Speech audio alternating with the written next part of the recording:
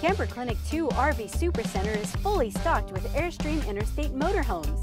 The Interstate has been voted best in class for the sixth year in a row, with more than 50 best in class features that all come as standard equipment.